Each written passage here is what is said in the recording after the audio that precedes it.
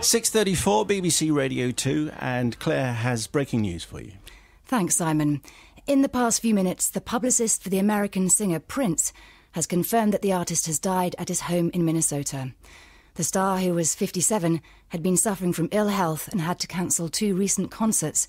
His private jet was forced to make an emergency landing last Saturday because of his condition. His staff said he'd had a bad bout of flu. Prince sprang to international fame in the early 80s following the success of his album 1999. He sold more than 100 million records during his career. And we'll have more on that in the news at 7. Thank you, Claire. 2016 is turning out to be a bit of a rubbish year.